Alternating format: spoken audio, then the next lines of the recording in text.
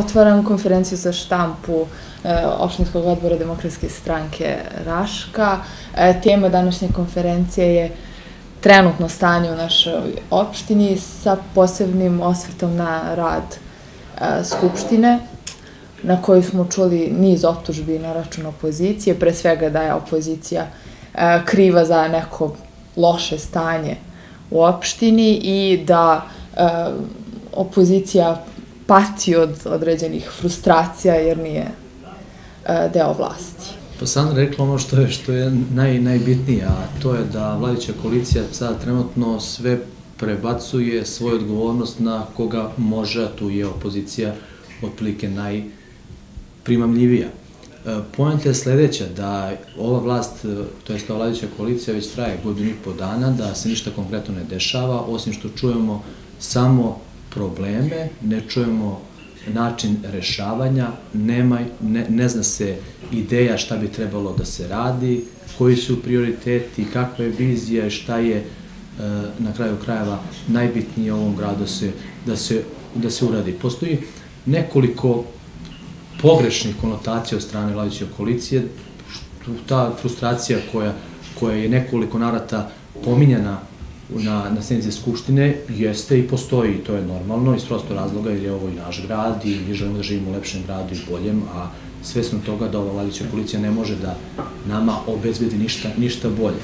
E, Skupština je takva kakva jeste, rad Skupštine se zastiva na, na govorima ili izlaganjima odbornika i vladajuće i vladajuće koalicije i opozicije i bili smo svesni svi da za vreme Skupštine redko ko od odbornika vladajuće koalicije je izlazi uopšte za govornicu, da li smeju, ne smeju, da li znaju, ne znaju, to nije naš, naš problem, ali je činjenica da posao opozicije i jeste da uvek govori ono što je loše, da kritikuje vlast i da daje određene inicijative za boljitak. Ono što je nas navelo na, na ideju da organizujemo ovu konferenciju štampu jeste dešavanje posle Skupštine i izjave koje su date od strane vladajuće većine, e, da su te izjave prenete na skupštinskoj govornici, a ne posle toga kad nema kod im odgovori, bilo bi e, dosta drugačije. Da li je, evo gađanima kažem, normalno da vladajuća većina ima 22-3 odbornika, da niko se ne pojavi kaže ništa za svo vreme skupštinske e, debate, a posle toga se kaže da je opozicija frustrirana i e, da je arogantna i bezobrazna, da tako kažem. To nijednom nijednom reču mi to nismo uradili, smo ukazali na milion stvari, a jedna od dva najvažnijih stvari jeste i priča o suficitu budžeta, kakvom suficitu možemo da pričamo kad su troškovi, kad su izdaci za budžet nisu realizovani 50%, kakvom suficitu može da pričamo kad škole kreće unutra u školama osnovnim u Raški kreće deca i, i profesori i, i traže nadoknadu od dece da bi se kreće u učionice. Stvarno nije u redu da se neko na onakav način poziva da se priča o muzici ili bilo čemu drugom. Ljudi nisu postali direktori javnih preduzeća da bi se bavili muzikom ili u prošlosti radili to, nego treba da rešavaju probleme ovog grada. Znači, javno komunalno preduzeće treba da ima direktora koji će da povuče, kako kaže presnik opštine, sredstva koje su mu namenjeno budžetu, a ne da ih koriste sa 30%, da obezbedi da nam se ne dimi smetlište, da obezbedi da imamo adekvatnu pijaću vodu, da obezbedi da imamo kanalizaciju u Trnavskoj reci, a ne o tome da li je on u mladosti bio muzičar ili nije bio muzičar. Tako da tve, te priče ne ide na čast niti vladećoj većini, niti presniku opštine. Znači, trebao bi da se okrene, da ode u škole i da pogleda na šta one liče, pa onda da priča o tome da ljudi ne znaju da povuku sredstva. Znači, ono što smo tamo rekli, ako već ne znaju da povuku sredstva koje su definisana budžetom, zašto ste ih ponovo stavili? Zašto ste donali zakon o javnim preduzećima koji uopšte niste ispoštovali? Tako da to građani opštine Raška vide, vide da, da se ljudi primaju bez konkursa i bez bilo kakve priče, da počinju da rade ljudi koji počinju da rade i to je nemoguće zamajati, zamajati i prekriti pričom o tome da je opozicija frustrirana. Ne vidim zašto smo frustrirani, ljudi, barem u demokratskoj stranci, su većinom sebe izgradili bez politike, bez ikakvih e, pomoći sa strane za razliku od aktualne većine. Nenad je bio i pre, previše oštar, možda i u pravu na kraju krajeva, jer tačno se zna šta je čiji postoji, šta je čija odgovornost.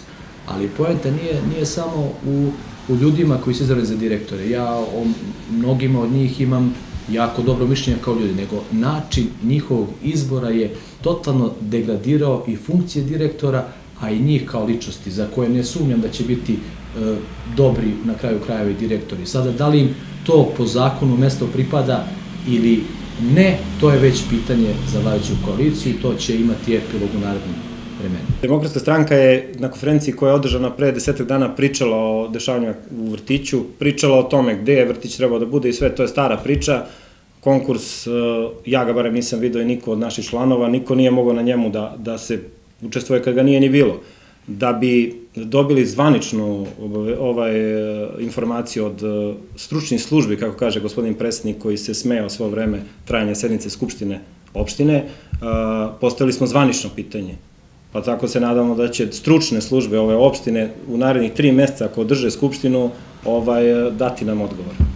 Još nešto sam hteo da dodam, većina, većina izlazaka i, i, i debata opozicijenih odbornika bile su propraćene smehom što presnika Skupštine, što zamenika presnika opštine. Mislim da to ne ide na čast ni njima, ni građanima ovog grada. Skupština je tu da bi se donale važne odluke, a ne da bi se ljudima pokazalo da oni imaju vlast, da imaju moć. Imaju vlast, imaju moć, pitanje je ovaj, dok će to trajati i šta će biti posle svega.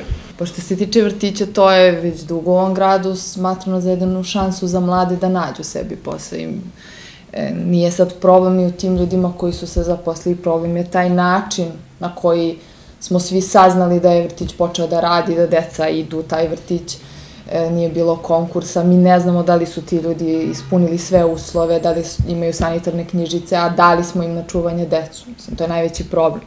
E, nije to frustracija samo opozicije.